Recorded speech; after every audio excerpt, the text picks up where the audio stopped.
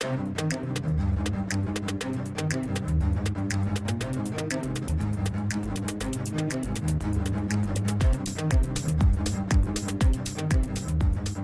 Avant d'être députée, moi j'étais euh, diététicienne nutritionniste. J'ai aussi eu une fille qui a eu euh, un cancer. Donc tous ces sujets, je les ai euh, aussi vécus de par ma profession, de par aussi ma vie personnelle. Et j'ai pensé que en étant à l'Assemblée nationale, je me suis engagée d'ailleurs pour faire bouger les lignes. Et c'était aussi pour porter aussi tous ces sujets de santé qui euh, passent euh, malheureusement souvent sous les radars. Et euh, ce sont des sujets de politique sociétale. Et ça se fait avec tout le monde. Et c'est pour ça qu'on a décidé de, avec Alain de faire ça ici à l'Assemblée nationale, parce que c'est un lieu ouvert à tous. Et vous êtes chez vous ici. Vraiment l'idée d'arriver à, à pointer du doigt et donc d'avoir vraiment cette approche individualisée et non pas euh, formater euh, des, des, des, des, principes clés que l'on a que l'on a appris, mais vraiment s'inspirer du vécu, des émotions, des ressentis pour venir faire évoluer les pratiques. C'est un gain de temps considérable pour les pour les soignants. Ça permet aussi d'avoir une panoplie, par exemple, des différents profils de patients que l'on a en face de soi pour pouvoir adapter la prise en charge. Donc euh, voilà, à mon avis, c'est un Merci. Et on, sait, on sait, on a dit souvent avec Sandrine, 40% hein, des infirmières et des aides-soignantes qui veulent changer de métier par crise de sens. Mm. Et donc avec ces approches expérientielles, on peut résoudre beaucoup de problématiques en rapport avec la crise des métiers de la santé notamment. La santé, c'est aussi des lieux et des temps de vie. Et ces lieux et ces temps de vie, ils sont rarement financés par l'assurance maladie, je le dis sans critique et sans jugement, euh, que s'agisse de prévention ou de prise en charge intégrative, globale euh, de la personne dans son environnement, dans le cadre, par exemple, d'une maladie chronique, euh, ou même lorsqu'il y a une reconnaissance d'ALD avec des financements qui sont, qui y sont apportés. Et donc, si on mesure bien l'impact, on a moins besoin de dire aux gens, qu'on fait des économies parce que le sens il devient naturel pour tout le monde. Si je crois pas que l'impact euh, pour les personnes est suffisant, bah oui, je me dis au moins qu'ils fassent des économies. Mais si je suis vraiment convaincu qu'on va améliorer la prise en charge de, certaines maladies chroniques dont on sait les souffrances que ça peut générer au niveau des individus, je pense que euh, le consentement à la dépense, publique ou privée, qui est quand même un gros sujet démocratique aujourd'hui, sera meilleur. Et donc, il faut aussi travailler là-dessus. Pas uniquement s'excuser euh, de dépenser pour faire du bien aux gens. En créant l'Institut Raphaël, Alain Toledano souhaitait apporter une réponse à tous les désordres que provoquent les traitements du cancer. Ce modèle de santé intégrative s'est vite intéressé aux personnes atteintes de maladies chroniques. À ce jour, ce sont, d'après ce que j'ai compris, dix spécialités qui sont traitées en plus de la cancérologie, la cardiologie, maladies digestives, diabétologie, néphrologie, neurologie, rhumatologie, maladies gynécologiques, insuffisance respiratoire et maladies psychiatriques. C'est bien ça? Ces maladies concernent 20 millions de Français. C'est quand même pas un petit chiffre, Madame la députée. Et cinq ans après sa création, l'Institut Raphaël a suivi près de 5000 patients qui se sont vus offrir plus de 85 000 soins de santé intégrative. Le challenge que nous devons réussir, nous sommes à la veille d'une remise en cause du système actuel de santé qui a atteint ses limites. L'expérience de l'Institut Raphaël montre une possibilité très adaptée et positive, car prendre en compte le bien-être des patients n'est-il pas le plus important? Comme vous le dites souvent, la maladie se traite de manière linéaire, mais le patient nécessite un traitement très complexe. Je vous remercie. Merci la vision intégrative des missions de service public à la population, qu'on vienne du public ou du privé, c'est une mission qu'on doit tous embrasser et qu'on doit tous porter. Donc vous voyez tout ça, quand les hommes et les femmes se rendent compte de certains, dysfonctionnements qu'on a en France, eh bien, euh, on, perdrait beaucoup en crédibilité. Donc il faut vraiment nous remettre en question, et je trouve que votre approche, elle, elle apporte cette crédibilité, puis elle nous donne envie aussi de réfléchir avec vous, et je trouve que c'est assez excitant euh, de, pouvoir penser autrement que ce que nous avons vécu depuis euh, plus de 50 ans. Quand on a en capacité de donner des outils à nos patients, en cancérologie par exemple, quand on est capable de les outiller avec des coachs parfois, hein, eh bien, on voit que le patient va, mieux suivre son traitement, éviter euh, un certain nombre de métastases et, des récidives avec donc euh, des économies qui ont été chiffrées. Dans le, jargon, s'appelle du PRME, un, projet, un programme de recherche euh, médico-économique porté par le ministère. Mais on a des éléments, ça fonctionne. À nous d'évaluer toutes, ces, toutes ces thérapeutiques innovantes. et ça, je crois que par contre, c'est vraiment le rôle de l'hôpital et des hospitaliers de l'apporter dans le projet parce que c'est notre expertise. Moins de 5% des patients qui ont un cancer décident volontairement de ne pas prendre de traitement anticancéreux pour prendre uniquement des plantes ou d'autres soins alternatifs.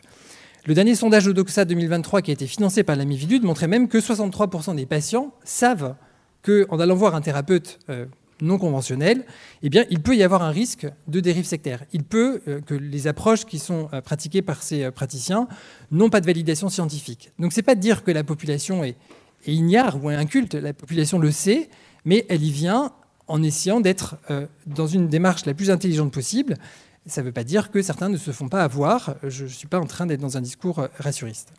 Mais donc, il y a quelques risques qu'il faut prendre en compte de façon tout à fait sérieuse. Et puis il y a aussi l'autre élément, c'est que les patients en demandent beaucoup de ce type d'approche.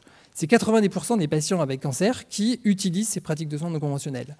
Donc comment faire euh, Quand on demande aux, patients ce qu'ils veulent justement, ils demandent euh, de pouvoir avoir un accès à ces approches. Et quand ils demandent que l'État encadre ces approches, ça ne veut pas dire qu'elle leur interdise l'accès, c'est qu'elle crée un espace sécurisé d'accès à ces approches. Et eh bien ça, il me semble, que c'est typiquement ce que propose la médecine intégrative. Dans ce genre de, de moment, il se passe des choses. Je pense que vous serez tous d'accord pour dire que en partant d'ici, vous ne serez pas les mêmes que lorsque vous êtes arrivé ici. Donc ça, c'est déjà une première chose. Et puis, euh, autorisez-vous aussi euh, à échanger entre vous après. Euh, faire du lien, c'est aussi pour ça que j'organise ce genre de soirée euh, avec Alain, faciliter les choses. Euh, je pense que hum, des choses se clarifient aussi quand euh, on entend toutes ces personnes qui nous expliquent certains biais qu'on pourrait avoir aussi dans, dans, nos esprits ou que certains d'autres que nous ont. le fait d'expliquer les choses, c'est aussi très rassurant parce que comprendre tout ça la connaissance, c'est aussi une forme de, pouvoir. Donc on reprend aussi, euh, nous tous ici euh, ce soir, notre pouvoir d'agir. Euh, compter sur, sur tout, le monde ici, je pense, pour, pour continuer, sur moi et bien sûr sur tous les autres parlementaires, que ce soit à l'Assemblée nationale ou au Sénat, pour se mobiliser sur la question. On a tout de suite voulu qu'il y ait le monde médical, non médical qui soit représenté. Et finalement, on, va voir pourquoi ce soir nos deux récipiendaires qui prendront la parole euh, ben, sont ici et, le reçoivent. Euh, comme on a toujours besoin d'être porté dans son action, on sait que on est en train, avec nos, petits moyens, de faire vivre une dynamique, mais, ça va grandir. On a, nos deux partenaires de la chaire santé intégrative, Elsan et DocaPost, à qui on a demandé de participer à la, à la, fête, de remettre ce prix. Donc David Gruson pour DocaPost et chez Elsan, Pénélope qui en plus, pour David Servan-Schreiber, est sa cousine. Et filleule. Bon, alors comme ça, vous voyez, la boucle est bouclée et c'était même pas fait exprès. Voilà, donc euh, David et Pénélope, si vous voulez bien aussi rejoindre la scène. Donc on va demander, on va vous demander de prendre la parole avant qu'on arrive au, prix pour nous rappeler la mémoire de David et, et ce que ça évoque pour vous. C'est qu'il y a dans la vie de David quelque chose qui est dans la nôtre complètement.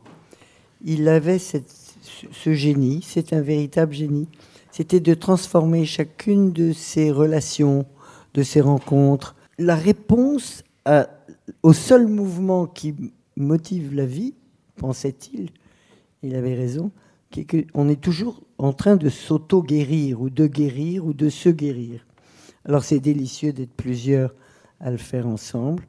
Il n'y a pas de mal à le faire avec des petites choses sans aucune importance comme les myrtilles ou des grandes choses qui ont beaucoup d'importance comme une chimiothérapie. Il faisait les deux. Il essayait consciencieusement et il essayait surtout avec d'autres. Ça t'a fait quoi? Qu'est-ce que tu en penses? Ainsi, chacun de ses malades, chacun de ses amis, chacune de ses rencontres avait l'impression de participer à la vie et aux soins de tous les autres.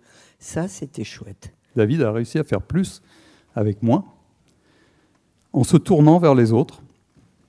Et ce vide, cette absence, on sait que la nature a horreur du vide, mais aujourd'hui c'est vous, et notamment les lauréats du prix, qui vont combler cette absence, qui vont le combler avec vos travaux, qui continuent ce combat, qui est un combat humaniste, qui était le sien, qui est le vôtre, et qui devrait en fait être celui de chacun.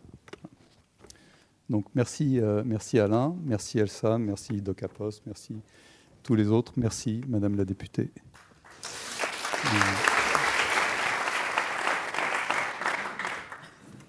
Merci. Merci beaucoup Alain, merci au comité scientifique également pour euh, la remise de ce prix. Globalement, c'est une équipe euh, qui permet euh, de faire avancer la prévention cardio-oncologique parce que les pathologies cardiovasculaires et les cancers, il y a un, continuum physiopathologique entre les deux. C'est les mêmes facteurs, enfin, il y a beaucoup de facteurs de risque communs. voilà, donc on peut agir de manière synergique sur plusieurs organes en développant en fait une prise en charge globale. Mais ça, c'est un combat, euh, c'est un combat quotidien. C'est un combat quotidien aussi en termes de recherche. On mène euh, plusieurs projets de recherche en médecine intégrative euh, à l'Institut de médecine intégrative et complémentaire, mais on est confronté, là aussi, à l'évidence base médecine, au fait qu'on veut faire rentrer un programme d'amélioration des douleurs chroniques, et en particulier des douleurs neuropathiques par l'hypnose on veut le faire rentrer dans le même cadre de recherche que si on teste un médicament contre un placebo. Ça ne marche pas. Mais ça, c'est en train de... Euh, autant c'était, on était dans, l'ombre euh, il y a quelques années, autant ça commence à, apparaître grâce à, toutes ces initiatives. Et ce prix va, nous aider, euh, va nous aider énormément. Et je tenais à vous en remercier. Écoutez, je suis très heureuse, très émue aussi, parce que comme vous le savez, à double titre, euh, d'un point de vue personnel, donc j'étais très proche de David, euh, mon grand cousin, qui avait 14 ans de plus que moi. Et à titre professionnel, donc en tant que représentante d'Elsan ce soir, euh, voilà, je suis très très heureuse de vous remettre ce prix qui consacre donc l'œuvre du docteur David Serran-Schreiber et qui, à travers vous, euh, va continuer à œuvrer pour la médecine intégrative. Voilà, merci beaucoup.